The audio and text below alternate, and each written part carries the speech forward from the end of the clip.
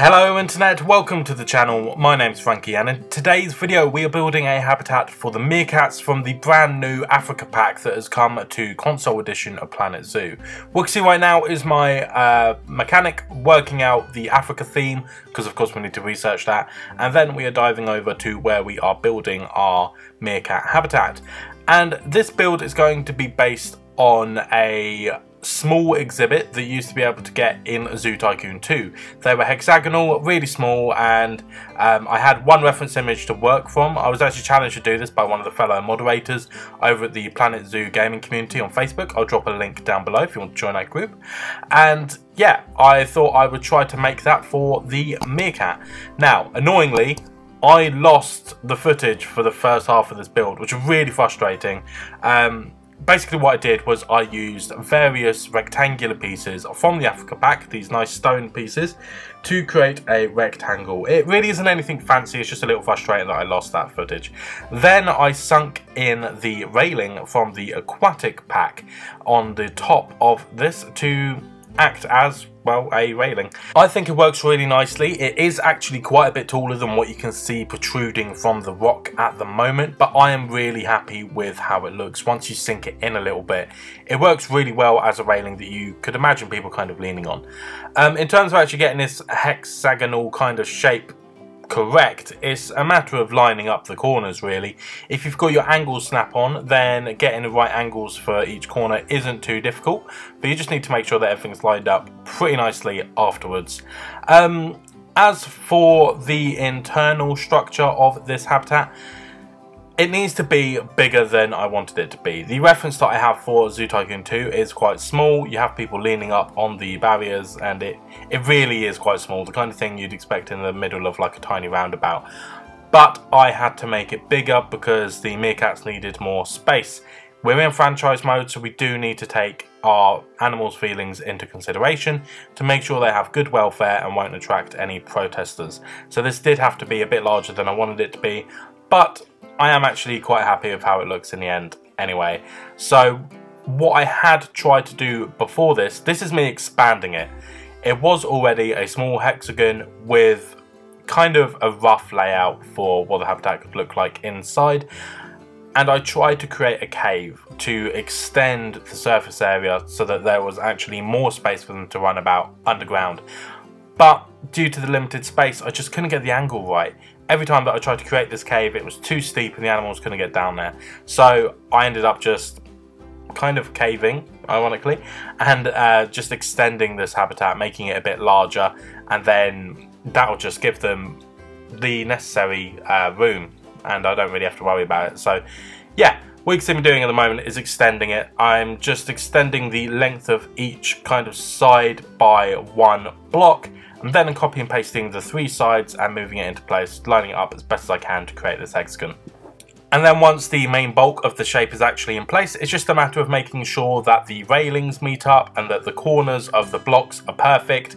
Just a bit of um, adjusting here and there, not too much work, it's just a little bit of uh, finesse, I guess, to make it kind of looked perfect.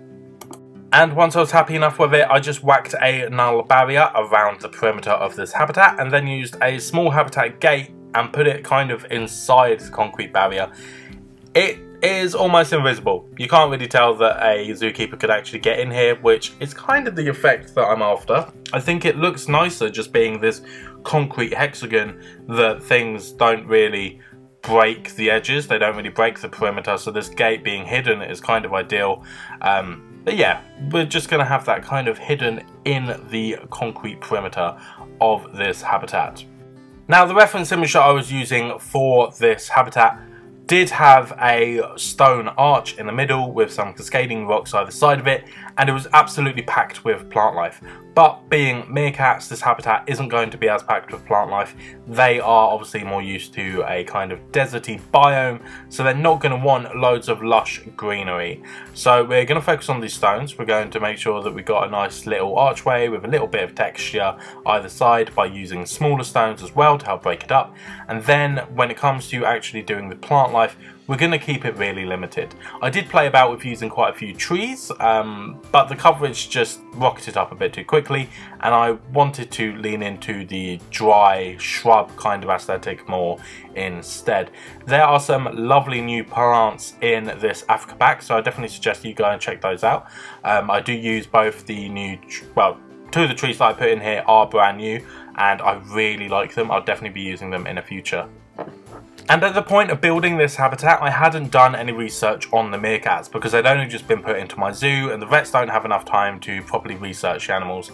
So I ended up just using any of the um, enrichment items that had been unlocked by other animals.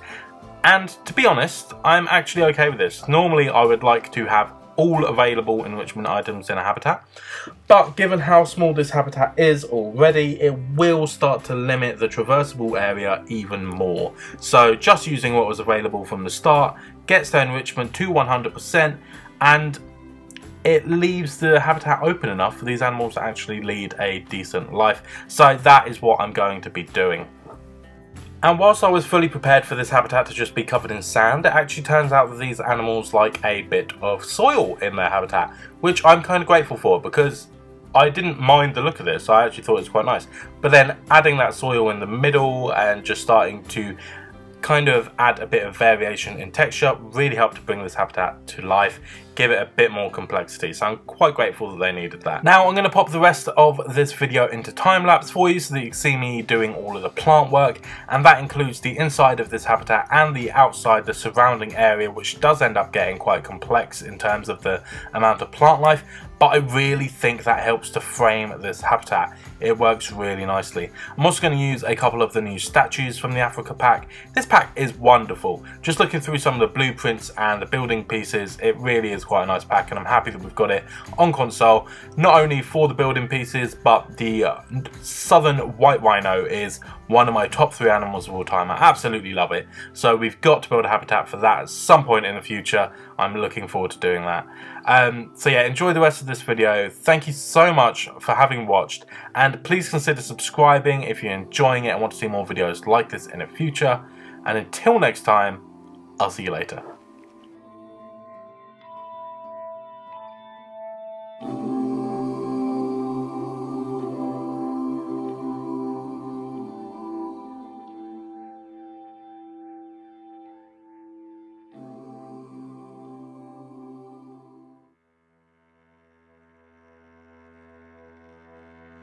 Música